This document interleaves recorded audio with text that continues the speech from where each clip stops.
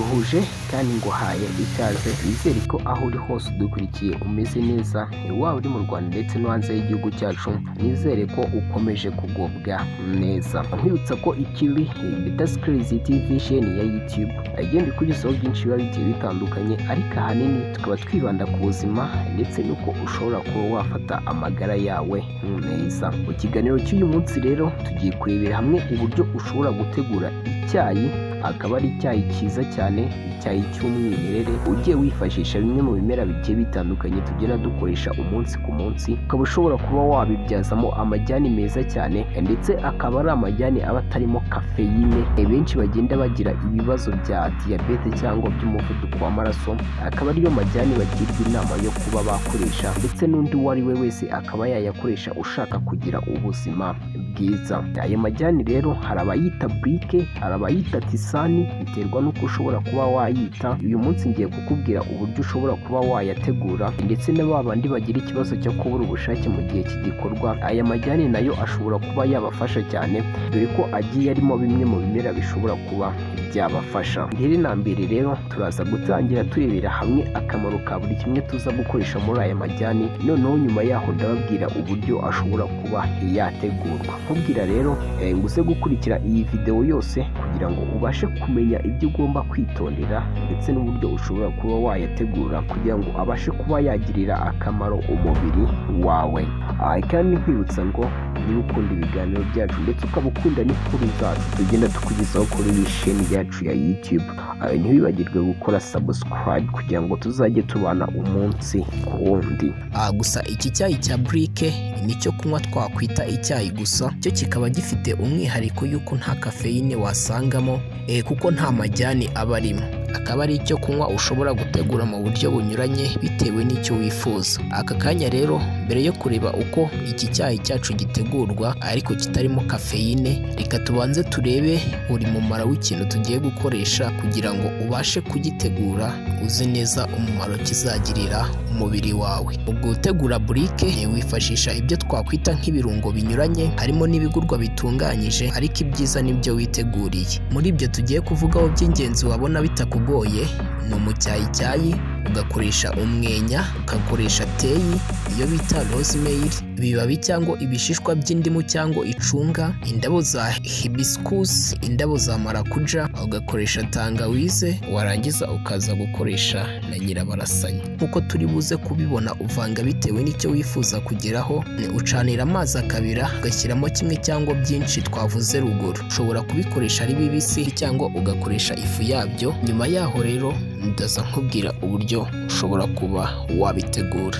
Reka tuze rero turebe akamaro ka buri kimwe mbere y'uko dutangira kubitegura turaza guhera kuri teyi cyangwa romari akaba ariyo bita rosemary ikaba ifasha umwijima n'uruhago. Ikaba ifasha kandi mu kuvura inkorora ibicurane na asima yoroheje inagufasha kuruhuka no kuruhura imikaya.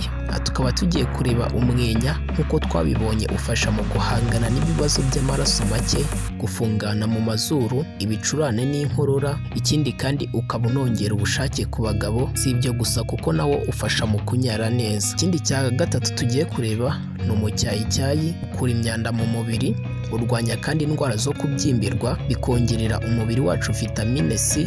Ku bari mu mihango cyangwa abafite umuriro uraborohereza unafasha kandi kugabanya umuvuduko udasanzwe w'amaraso. Ikindi kandi ni uko uru ruvange rw'iki cyayi iyo gihoze wagikoresha mu kuvura ibimeme ukaba ufata uyu mucyayicyayi ukawogeshaho ikindi kandi tuza kureba ni indabo za hibiscus zizwiho kuba zikize kuri vitamine C.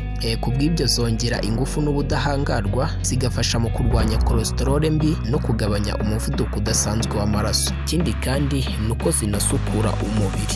Ikindi tuza kwifashisha ni tangawizi. Tangawizi yo abantu benshi barayizi izwiho kuba inkabura mu mubiri ifasha mu kurwanya iseseme ikanafasha mu igogorwa ry'ibiryo ifasha mu kurwanya rubaga impande gute no kubabara imitsi no mu ngingo. Ikindi rero tuza kwifashisha ibibabi by'indimu cyangwa icunga. Ibibabi by'indimu cyangwa icunga kimwe n'ibishishwa byabyo bizwiho kongerera ubudahangarwa umubiri. Ikindi kandi ni uko ibi bibabi cyangwa ibishishwa by'indimu cyangwa icunga bifasha igifu kugogora ibiryo neza no gutuma umuntu atagira inda ibyimbye. Si ibyo gusa kuko binarwanya ibicurane n'inkorora bikanatwongerera vitamine C. Indabo za marakuja zifasha mu kurwanya kwiheba no kwigunga na stress ndetse zinafasha umubiri kumva uruhutse neza.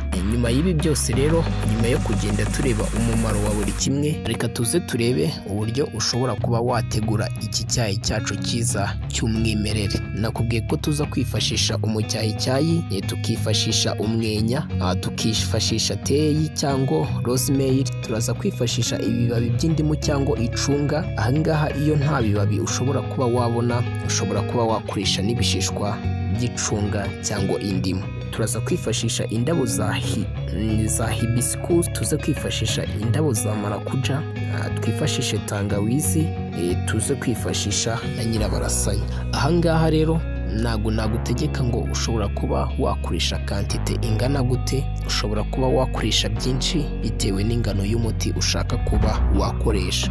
Gusa icyo ugomba kwitaho ni uko mu gihe uri gutegura uyu muti ugomba kutazashyiramo teyi nyinshi ndetse n'ibibabi by'icunga cyangwa indimu kuko nushyiramo byinshi bishobora kuzakururira. Ndetse n'umwenya nushyiramo mwinshi cyane ukabije ushobora kuzumva umeze nk'urusenda dore ko ushobora kuzashyiramo mukeya kuko uzaba wongeramo na tangawizi ni ukuvuga ibi byose urabifata ukabyanika ntabwo ubyanika ku zuba ryinshi bibaye ngombwa ushobora no kuba wabyanika nko mu gicucu noneho byamara kuma urabifata ukabisekura cyangwa ukabivungura ukabiyungurura warangiza ukagura agafu ka tangawizi ukakaminjiramo wirinda gushyiramo nyinshi cyangwa niba byakorohera na yo ukaba wayanika ukayisekura ugakuramo agafu noneho warangiza ukabivanga. Iki cyayi rero aba ari icyayi cyiza cyane niba wifuza ko ushobora kuba wagikoresha nko kongerera imbaraga umubiri wawe ku bigendanye n'amabanga y'abashakanye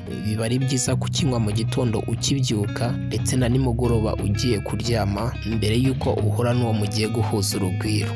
Iki ngiki akaba ari icyayi cyiza cyane rero kidashobora kuba cyagira ingaruka ku mubiri wawe. Dore ko nimba unifite warangiza nyuma yaho wagitereka cyamara kuba akazuyazi ukaba washyiramo ubuki ushobora kuba wagira byinshi uhindura ku buzima bwawe. Ikindi kandi nimba nta buki ushobora kuba wabona nawe ushobora kuzajya ukoresha isukari nkeya cyane kuko nanone isukari ntabwo ari nziza. Ubutaha rero nkaba nzabategura n'ibindi bigiye bitandukanye mbabwira ngo nimba ufite icyifuzo cyangwa ukaba ushaka undi muti twagutegurira ujye ubyandika muri komenti